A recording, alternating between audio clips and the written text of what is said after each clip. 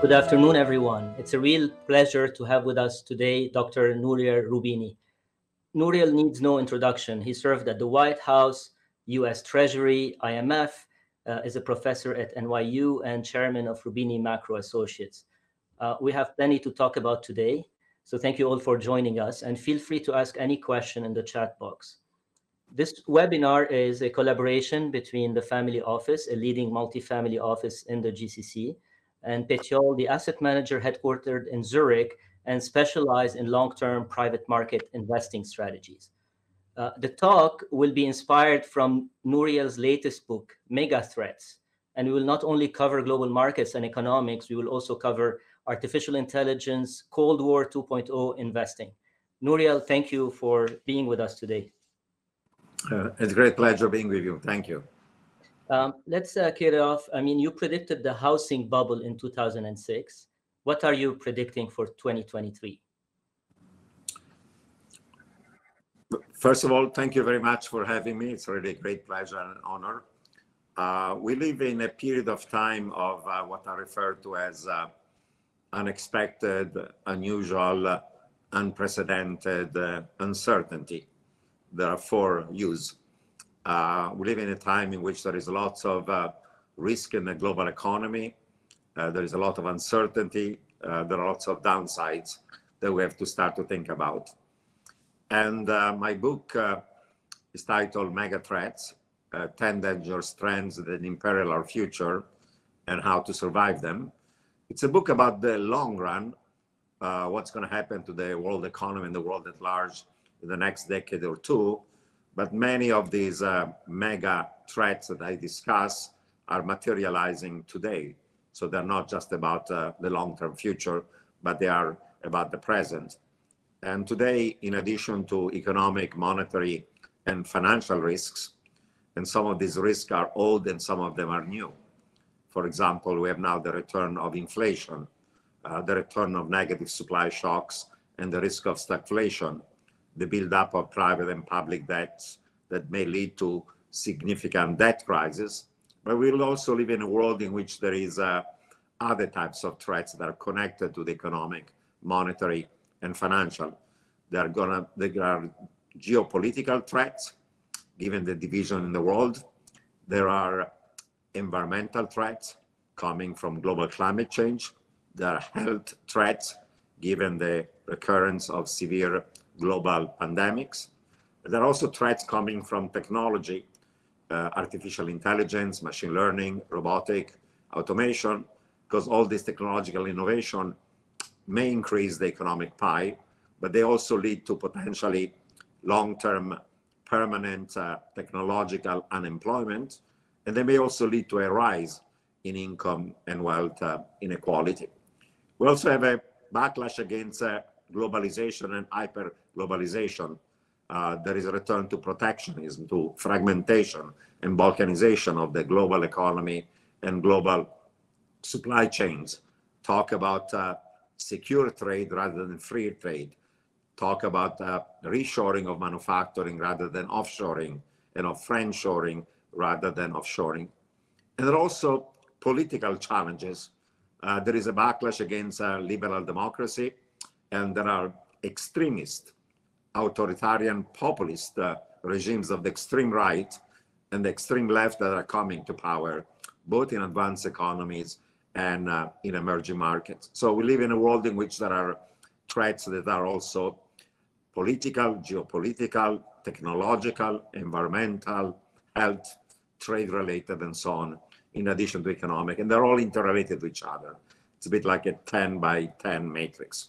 Now, if I have to focus for now on some of the uh, short-term economic outlook that is connected with some of these threats, I would notice that um, the conventional wisdom uh, of, for example, Wall Street or the city or policymakers has been proven somehow wrong in the last uh, year and a half. As you recollect, uh, in last year, there was a debate on whether the rise in inflation in advanced economies, but also in many emerging markets, was uh, temporary and transitory or more persistent and more permanent. The consensus view by among central bankers and uh, sell-side research was it was temporary and transitory, driven by base effects and temporary uh, supply shocks. The reality turned out to be different. Inflation went towards double digits in most advanced economies, and it's still very high. There was another way in which the conventional wisdom uh, was incorrect. People stressed that inflation was driven mostly by bad uh, policies, uh, excessively loose monetary, fiscal, and credit easing and policies during the COVID crisis that led to excessive uh, inflation over time. That was true. Certainly, loose monetary, fiscal, and credit policy was part of the story. But uh, my contribution and the one of others to this debate was to also point out that in addition to bad uh, policies, there was also, unquote, uh, bad luck, a series of negative aggregate uh, supply shocks that reduced economic growth, increased cost of production, and they were stagflationary. Uh, the three most important were the initial impact of COVID on the production of goods and services, on the supply of labor, and on disrupting global supply chains. The second one was the impact of the brutal invasion of Ukraine by Russia on energy prices, both oil and natural gas, on food and fertilizer prices, and on the price of industrial metals. And finally, the continuation of the zero COVID policy of China, at least until recently, created other bottlenecks to production in China and to global supply chain. Now, this debate on whether it was a bad uh, policy or bad luck uh, is not just semantic and academic, it's relevant because if uh, negative supply shocks that are stagflationary emerge, then the chances for central banks to achieve a soft landing become harder because with negative supply shocks, uh, growth is lower, inflation is higher. If you tighten monetary policy to fight inflation, you risk causing a hard landing. And if instead you care about jobs and growth and incomes and you don't tighten fast enough, then there is a risk of de-anchoring of inflation and inflation expectation, and you end up into a wage price spiral. So when these negative supply shocks occur, uh, for central bank is a bit of a damn if you do and a damn if you don't in trying to achieve uh, their, their goals of having a soft landing back to 2% inflation without a recession. Then, of course, the third way in which the conventional wisdom, I think, has become uh, incorrect is by once there was recognized uh, that uh, there was a need for policy tightening, the question was can central banks go back to 2% inflation without causing a recession, uh, without having a hard landing, having a soft landing where you have a slowdown of economic growth uh, without having a real recession? And for a while, that was the consensus view again among central bankers and sell-side research that we can achieve a, a soft landing. Even those hopes, I think, by now have been dashed because if you're looking at the United Kingdom, you have double-digit inflation and you are already entering a recession. Uh, the Bank of England is already predicting five consecutive quarters of negative economic growth. The ECB is going to meet uh, this week they're likely to revise downward their growth expectation and expect at least a couple of quarters of negative economic growth in the fourth quarter of this year right now, first quarter of next year, and possibly the second quarter of next year. Uh, that will be technically a recession at a time where inflation is close to double digits against stagflation. In the US, we're not yet in a recession, but there is a sharp slowdown of economic activity. And I do predict, uh, again, a hard landing rather than a soft landing, uh, because uh, in US history, we have never had a situation where inflation is above 5% and today is 7.7, and when uh, unemployment rate is below 5% and today is 3.7, that when the Fed starts raising rates to reduce inflation, uh, you never get a soft landing. You always get a recession. So I think the direction of uh, the key economies of the world, at least advanced economy, is one of uh, stagflation. The question of how mild or how severe. Uh, and in emerging market, there is this very sharp slowdown of growth uh, in China uh, until recently. They have recently tried to change their policies. They're going to reemphasize the importance of economic growth. Uh, they're going to phase out the zero COVID policies. But the overall policy stance of China is state capitalism bashing the private sector, bashing the tech sector, and the confidence of both the household and the business sector remain fragile. So I do expect that China has been growing barely two to three percent this year, may not grow much more than that uh, next year. So technically, that's not a recession for China, but for an economy that used to grow 10% and then five, going to two, three percent is equivalent of, of a hard landing. So my outlook is one for, uh, you know, a global recession.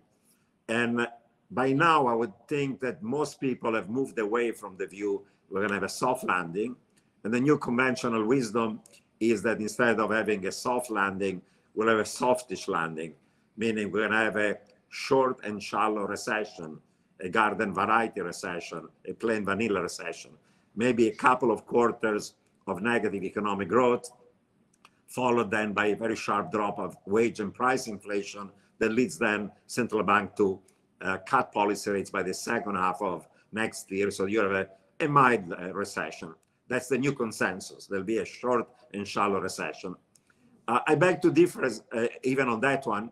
I think that we're going to get a recession, it's going to be more severe than otherwise for a number of reasons. Reason number one is that uh, in previous episodes, like the global financial crisis and the COVID initial crisis, we enter a recession by easing monetary, credit, and fiscal policy. Because uh, initially those shocks were deflationary, a fall in aggregate demand. This time around, because inflation is rising and we have negative supply shocks, we're entering the recession by having to tighten monetary and credit policy, and there is limited room for stimulating the economy on the fiscal side. Secondly, we now live in a world in which uh, debt ratios, private and public, as a share of GDP, are very high, uh, much higher than they were in the 1970s, when the private and public debt as a share of GDP was uh, about 100%. Today, in advanced economies, the number is 420% of GDP and rising. In China, is 330% of GDP and rising. So in the past, there were many institutions, household, corporates, banks, shadow banks, government, entire countries that were near insolvent, near bankrupt, called them zombies. But because we had negative demand shocks, we eased monetary, fiscal, and credit policy. So we saved the unquote the zombies uh, by cutting rates to zero, to negative, by doing quantitative easing, credit easing, buying even junk bonds. Uh, this time around, instead, uh, because inflation is rising and you have these negative supply shocks, uh, you have to raise interest rates into that recession. And therefore, in the past, debt ratios were high, but debt servicing ratio was low. Today, instead, we have to raise rates and debt servicing ratios are rising. Mortgages, business loans, credit card, personal loans, auto loans, student loans, uh, you name it. Uh, junk bonds, high yield, high, high grade, leverage loans, CLOs, private debt, and so on. And that rise in interest rates is going to lead to distress among the institutions that are near insolvent. And that financial distress is going to make the recession more severe, and the more severe recession is going to lead to more financial distress. So I expect that the recession is not going to be short and shallow. It's going to be more severe and more protracted. And everybody is tightening policy rates, with the exception of maybe China and Japan. So it's a global phenomenon as inflation is becoming global phenomenon. Final way in which I think that the consensus is probably incorrect is that right now consensus, the markets, the policymakers say we're going to fight inflation at any cost, whatever it takes go, go back to 2%. We're going to increase interest rates as much as is needed. And that's why inflation expectations for the time being are anchored. However, my fear is that central banks are going to wimp out, they're going to blink, and they're not going to fight inflation uh, and bring back inflation to 2% for a couple of reasons. One, if they do so, there is a recession, and I argue why this recession is going to be short and shallow. Two, central banks are in what uh, the economists at the BIS call a debt trap. There is so much private and public debt in the system that if you raise interest rates enough to fight inflation, not only you cause a recession, but you also cause financial instability. Uh, you cause financial distress uh, in debt markets, in uh, government bond markets, in credit markets, and of course in the stock market. And therefore, faced with an economic and financial crash, central banks are going to wimp out. And if you cannot raise uh, either taxes or spending control deficits and debts that are unsustainable, the path of least resistance becomes to have a bout of unexpected inflation to reduce the real value of nominal long-term fixed rate uh, debt. And the bout of unexpected inflation can for a while delay a debt crisis. It only delays it because if inflation goes only from say 2% average to 5, 6, you have a couple of years of unexpected inflation. But once then inflation expectations are revised upward, nominal rates go higher, real rates have to go higher because the inflation risk premium are going to be higher. And therefore, then down the line, those agents in the economy that are having high debts are going to still face high nominal rates, uh, double digits, and high real rates. And therefore, they're eventually going to become insolvent. So you can postpone the crisis, uh, the debt crisis, with unexpected, uh, you know, inflation for a while, but you cannot fool all of the people all the time. Once uh, expected inflation gets repriced, once real rates go higher, uh, short-term debt repriced higher, and maturing longer-term debt has to be refinanced at much higher interest rates. So you still a debt crisis. So in my view, not only we get inflation, not only we get recession, not only we get the first stagflation, but we get eventually a stagflationary debt crisis. The days of the great moderation, where inflation was low, growth was stable, equity prices were rising, bond yields were falling, and bond prices were rising. Uh, those years are in some sense over, and we're going from the great moderation to the great uh, stagflationary uh, debt crisis and instability. So on all these dimensions, five different dimensions, I would say conventional wisdom has turned out to be wrong. And on the last two ones, of course, the, the debate is still open on whether short and shallow recession and whether central bank will remain hawkish or going to wimp out. I try to make the argument of why we're going in, in that direction. Now, in addition to these uh, short-term economic and financial and monetary risks, and as I pointed out, inflation is a new risk like we didn't have for the last 30 years. Stagflation is a new risk that we didn't have for the last uh, few decades. And severe debt crises are also something new. We had them before, but the magnitude and the severity this time around is severe. We have also a number of other things that we have to uh, worry about. We have to worry about uh, uh climate change. We have to worry about uh, geopolitical depression. We have to worry about what's going to happen with AI, machine learning, robotic, and automation.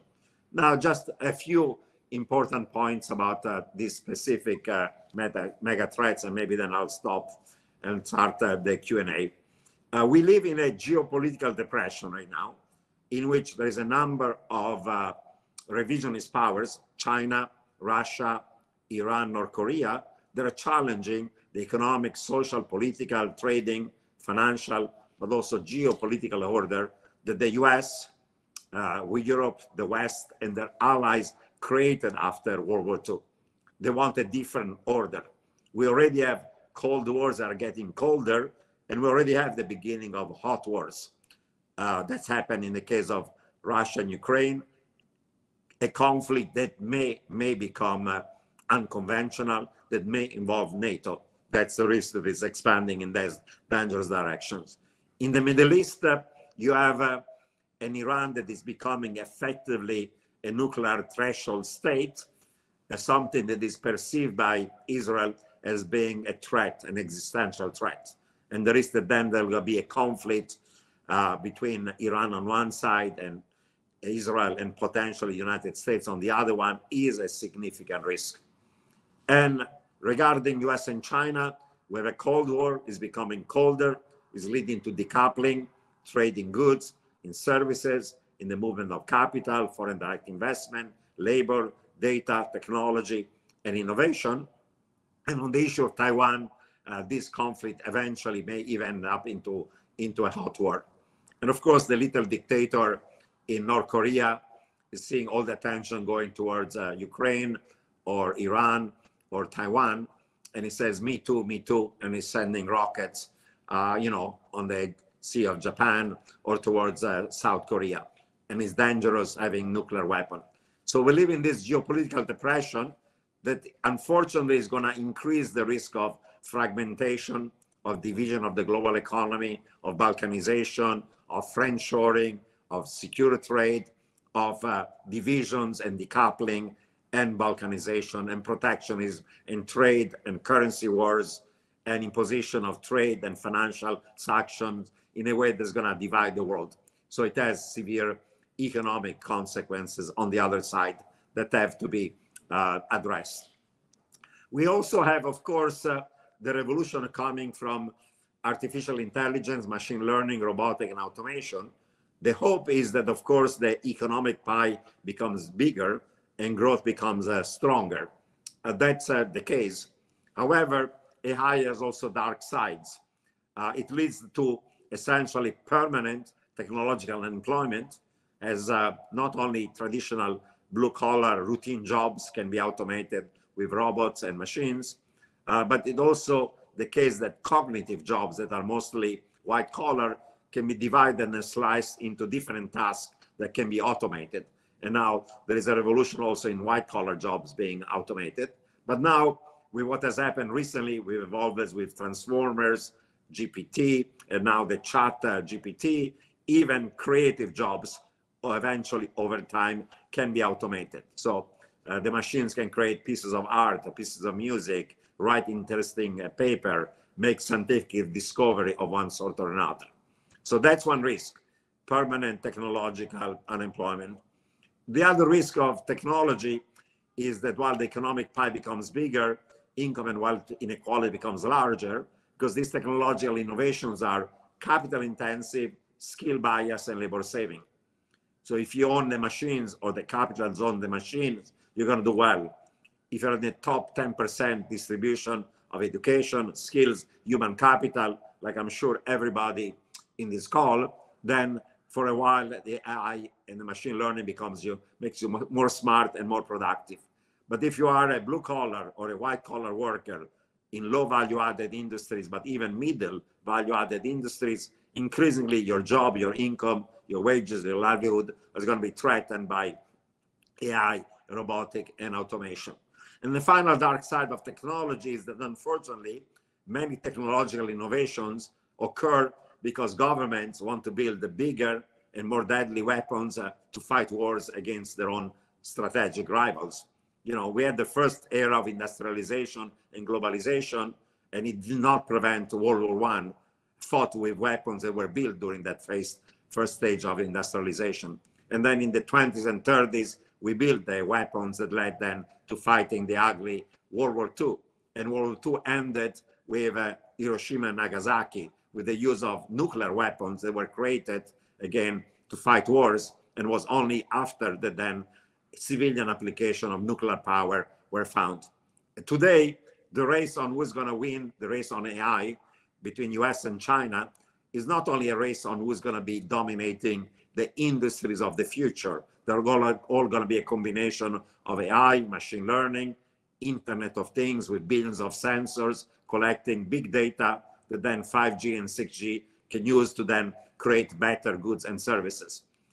Uh, not only whether this race is going to dominate the industry of the future, but whoever wins that race is going to also be the biggest geopolitical and military security power in the world because the weapon system will be increasingly autonomous, autonomous drones, robot soldiers, cyber warfare, and so on and so on. So the future of warfare is effectively AI, machine learning, robotic, automation, and eventually even quantum related computing and, and so on. That's why this year, those books written in the US by, on one side, Eric Schmidt, former CEO of Google, and the other side, Henry Kissinger, who is the most famous and known geopolitical strategies in America.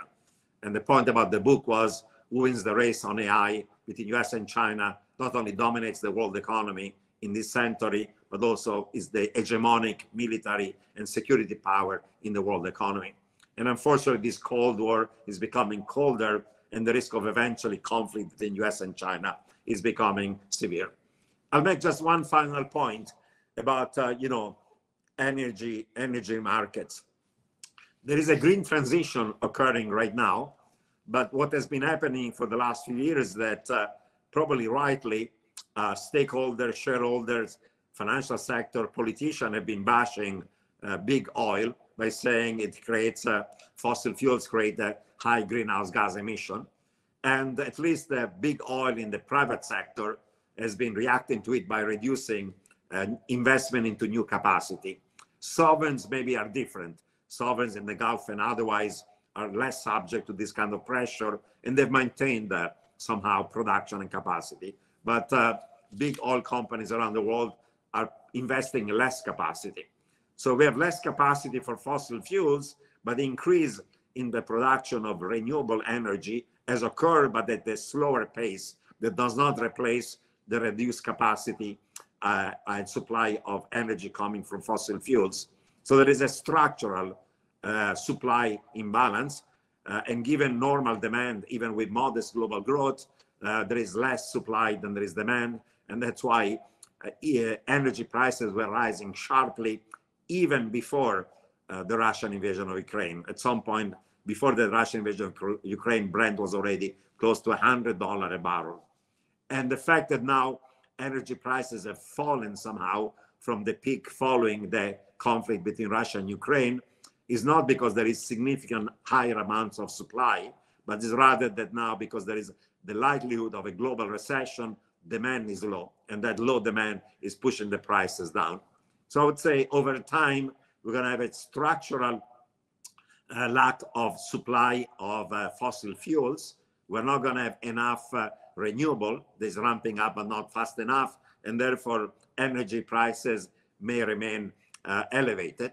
And therefore, the transition to, uh, say, a green transition is occurring more slowly than otherwise. Given the rise in uh, fossil fuel prices, governments are not increasing carbon taxes to switch to renewables, but actually are reducing them as a way of trying to reduce the increase in inflation and the price of energy. And that slows down that type of a green transition. So there is a lot of, uh, in the climate change space, of greenwashing and green wishing. A lot of ESG is more rhetoric than factual. And we also have green inflation. green inflation because the high price of uh, fossil fuels implies that the production of those green metals are needed for the green transition, lithium, cobalt, or otherwise is expensive because energy is an important input into that. So we get these side effects. So while moving to a green transition might be desirable, in my view, is going to occur more slowly than otherwise, and we have a fundamental lack of supply in energy market that may maintain over the next few years uh, energy prices elevated, even if, of course, a global recession might lead to a correction downwards in those energy prices on a cyclical basis. Maybe maybe I can stop here and open it to questions and so on. Thanks. Thank you, Nouriel, for uh, this overview. Let me ask you, since you touch on energy at the end, and uh, um, I mean, you spent a lot of time in the in the Gulf countries, GCC, and we have many many people from today who are attending from this region. How do you see it in the next ten to twenty years? Do you do you see them Do you see this region facing the same mega threats as you outlined in your book, or you see that more of a mega opportunity given what you have outlined on the on the energy side? well, on the opportunity side, you have uh, the fact that, as I pointed out, uh, for the time being, energy prices are going to be elevated, and these countries are running very large uh, surpluses, external surpluses that lead to a buildup of net foreign assets even on the fiscal side, they're, they're doing much better. And all these resources can be then used not only to build uh, through the sovereign wealth funds assets that are going to provide a source of income and wealth for the country, but also the ability to do investments, investments locally into the capital stock, public and private, and building up the infrastructure uh, to sustain high economic growth and do the kind of reforms that are necessary also to have a transition and a diversification because every country wants their little to become like, uh, say, Dubai, diversify away from just uh, oil and energy into manufacturing, into services, into technology, into the knowledge economy. So the opportunities that with uh, high revenues, high surpluses, uh, and this windfall, if invested properly, then uh, this country can do well. However, these countries are also subject to the same kind of uh, issues uh, and threats that we, we, we, we are facing. You know, they import most of their goods and services. If there's global inflation, uh, you know, inflation is going to be higher, and many of them are pegged to the US dollar. They can import inflation. Inflation has been lower than advanced economies because there are fiscal subsidies that are significant that are provided that keep a lead on inflation, but otherwise inflation uh, will be will be higher. Uh, this country do not have severe debt problems, and that's a positive, but they are in a region of the world that is geopolitically complicated, if not dangerous. As I said, uh, the issue of uh, Iran and the possible threat of Iran and the confrontation between Iran and Israel and possibly the US remains a, a hot issue. The risk of a conflict is one that is serious. Is a region that is subject, like many other ones, to severe risk from global climate change. In most the kind of global climate change scenario, temperatures become very high in that region, and life becomes much more hard and more difficult in terms of you know having uh, droughts and uh, and having heat uh, levels and temperature levels that make life and work not as easy and sustainable. Of course, global pandemics are a serious problem for everybody. In my view, they're going to occur and they're going to spread globally. Nobody can shelter themselves from it. And you have also, in some of these countries, uh, very young populations, uh, say in Saudi Arabia. Uh, many of them work only in the public sector, not in the private sector and you have to give jobs and opportunity to these people because otherwise eventually there is social unrest. People want to have economic opportunity. As i said uh, saudi arabia like others have the resources then to do a transition to stronger growth job creation and so on. But you have the challenge of doing these economic reforms and eventually ai robotic automation machine learning can also displace many kind of low-end jobs even in those economies uh, of the gulf so, you know, no, no country in the world is, is an island. Everybody's interconnected. And many of these global threats, whether it's political, whether it's geopolitical, whether it's environmental, whether it's health, whether it's related to uh, deglobalization, are things that are going to be to some extent affecting the Gulf. But relatively speaking, this past year, uh, the Gulf has been actually a success story because for whatever reason that we discussed, uh, you have had elevated energy prices, and therefore the windfalls have been significant. Uh, that has been a positive terms of trade shock for the Gulf. Of course, there's been a negative terms of trade shock for energy importing uh, economies, whether they are advanced economies or other emerging markets that are uh, energy and commodity importing as opposed to being exporting. Yeah, there's a question around asset allocation. When you look at the current market environment and the threats that you have mentioned, um, I know there's a part in your book where you refer, when you refer to AI, you refer to having exposure to these type of businesses more through the private market side, private equity, venture capital. So how do you think about a, a portfolio construction asset allocation and the traditional 40-60 balance portfolio uh, against those threats? Well, a traditional uh 60 40 portfolio, 16 equities and 14 safer long duration bonds, works when inflation is low. Because when inflation is low, there is a negative correlation between equity prices and bond prices, risk on, risk off, growth and recession. When one does well, the other doesn't, and vice versa. But when inflation is rising, like this past year, equities take a hit because the discount factor for those uh, profits and dividends is the bond yield is rising, and long duration assets like growth stocks, tech stocks, VC actually are even more significantly hurt by rising interest rates because long duration assets are more sensitive to interest rates. But not only the 60 part of your portfolio gets hurt, and US and global equity fell about 15 to 20% this year, but uh, as bond yields rise, uh, then the price of bonds is falling and in US, uh, the bond yield went from below 1% to close to 4% and now slightly below. So actually, bond prices this year fell more than equity prices. So you lost more money on the 40% of your portfolio than on the 61. And everybody has either 60 40 or 70 30 or some risk parity variance of the same. And everybody has some exposure uh, to dollar assets, either treasuries or things that are spreads relative to treasuries, like a lot of EM debt or corporate debt, high yield, high grade. And anyhow, in a world of rising inflation, not only US treasuries, but also uh, bonds and gilts and other long-term bonds go higher because you have the same phenomenon of inflation. So you get the same market losses. Um, and this year was a year in which there was nowhere to easily hide. Uh, public equities did poorly. Private equity, if you do it mark to market, did poorly. REITs uh, did poorly. Of course, as I said, growth, VC, tech did even more poorly. And of course, all the bubbles, meme stocks, crypto, SPACs went bust. Uh, credit did poorly because bond yields were rising and credit spreads were widening, and bonds uh, did poorly. Even cash gave you a negative uh, real return as you had uh, almost double digit inflation. Um, so if you want to think about uh, how you protect yourself, protect yourself in a world of uh, rising inflation, my view, you should have exposure to short-term treasuries that reprice at a higher yield without the price impact of long duration assets. Uh, you have to have inflation index bonds like TIPS and others.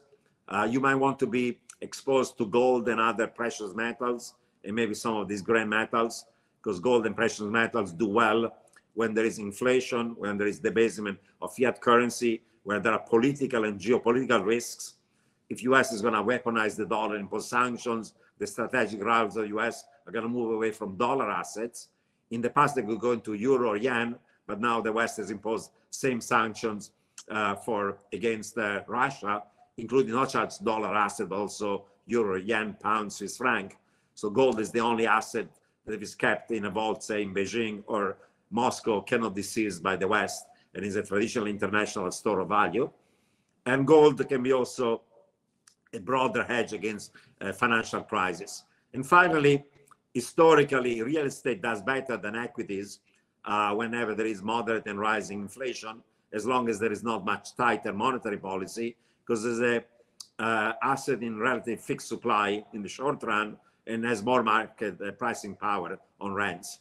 However, a good amount of uh, residential commercial real estate is going to be stranded even in North America because of global climate change. It's going to lead to flood, sea rise level, hurricanes, uh, wildfires, droughts, uh, and you name it. So you have to choose investments in real estate that are, how to say, protected from global climate change. So those are the kind of investments that protect you against the type of uh, tail risk we're facing right now. Of course, over medium long term, we'll be in a world of not just digitalization, but hyper digitalization. The way we live, we work, we study, we socialize, we shop, we do business is going to be all in increasingly digital. And those firms that are in the hyper digitalization are going to do better over time. But you have to pick the, the right ones and the winners.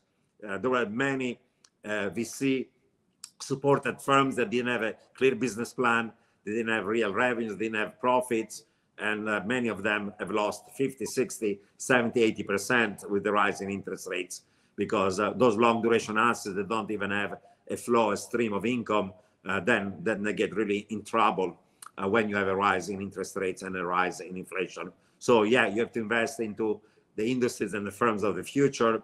Many of them are not in public markets and people have access to private equity, to VC and so on, can do well, but you have to be pick and choosing. We're going to be the winners in AI, in machine learning, in robotic, in automation, in biotech, in quantum, and lots of other industries of, of the future as well. Um, uh, I'm conscious of time, so uh, let us uh, take a few more questions, uh, Nouriel, if it's okay. Um, so I think people are um, at looking at the initial talk you had related to the mega threats and and and they want to hear maybe a bit of that optimism potentially. I, I, mean you say you're not dr doom you're dr realist. Um, and if you think about some of the points that um, are what makes you more optimistic uh, of the of the world going forward maybe with, you can highlight that optimistic view as well. Well in the book there are initially 10 chapters each one of them is about one of these mega threats, but in each chapter I speak about the policy solutions that are available. And I make a point that there are solutions to each one of these threats, but all of them require some sacrifices, some cost in the short run in order to build a, a better future in the medium long term. So there are things we can do. The question is whether they are politically viable in a world where we discount the future and we care more about the present. But as long as we care more about the future, there are ways of addressing each one of these threats. Then I have two final chapters. One, of course, about the dystopian future where all these threats materialize and feed on each other. And another one is more utopian, where step by step we have leadership at the national level, international level, we have cooperation, private sector, public sector, individual to address these threats. So leadership is important, but we also need a little bit of good luck with technologies because you know technological innovation in the past has increased the economic pie. Even recently, the fact that we're able to uh, control COVID successfully is because we found the vaccine in less than a year, and that was due in part to using sophisticated AI and machine learning. So that's that's the way in which technology can do revolution in biotech, in healthcare, in longevity, you name it. Some technological solutions may also lead us to have a better climate uh, by using these technologies. There is hope. For example, in addition to renewable now, there is a hope that fusion technology may lead us to very cheap energy with zero greenhouse gas emission in the in the future in the next 10 15 years and there have been some breakthroughs in fusion again aided by having uh, ai machine learning and quantum computing among other other tools. So i think that the solution towards a better future starts with uh, leadership national international private and public sector and then they have to be supported by having a continuation of technological innovation that help us to address problem of climate change, of uh, pandemics, of increasing the economic pie and providing opportunity to more people, more skills, more education, more productivity to a larger number of humanity. So if we have that sets of conditions, then we may end up into the less dystopian uh, or more utopian future, and there is hope. Uh, the future is never deterministic. At the end of the day, history is decided by individuals and countries that can work together to improve the world, or they can fight and destroy this world and cause a lot of damage. Hopefully, cooperation and coordination, uh, given new technology, is going to lead us to go in the right direction as opposed to the wrong direction. And, and last question, uh, I would like to talk about to Professor Roubini, not the economist Roubini. You teach at NYU. What what life lessons are you giving your young students or the younger generation today to succeed in the future? Um, well, it's an important question because uh, if you are a young person born today, a man or a woman, uh, your life expectancy in a middle income country is at 100 years at birth. So you're going to be around for the next uh, 100 years. Or even if you're in college now, uh, you know, you'll be living for at least another 80 years. And the question is, given all these changes and threats and disruptions, uh, you know how how you can make sure that for example you're not going to be technologically obsolete because technology is going to disrupt many jobs many firms many businesses many line of work. Uh, there'll be a revolution and so on. You know my advice will be that everybody young person should know a little bit about technology. So you should major in something uh, related to stem science technology engineering math and computer science but you also need a minor in liberal arts because if you're gonna have to change jobs 10 times during your lifetime, you have to know how to think well, to read well, to write well, and those kind of skills are also quite useful. So some combination of liberal arts major and minor in STEM or major in STEM and minor in that. That may make you a well-rounded person that's going to be able then survive and thrive in spite of all these uh, technological disruptions. And on terms of investment, uh, you know, uh, nobody becomes honestly overnight rich uh, by gambling in meme stock or crypto or SPACs or other stuff that is highly speculative. Uh, the solution, as anybody was an investor to long-term uh, uh, wealth, is to study hard, work hard, save a meaningful fraction of your income, and invest in a diversified portfolio of a variety of risky and riskless assets. And if you do that uh, over the decades, you're going to be able to have, you know, enough savings to live comfortably in uh, in old age life. Because uh, social security system right now, because of aging, those that are pay as you go are not going to be able 20, 30, 40 years from now to provide the benefits to the currently young, uh, the same benefits that currently all get.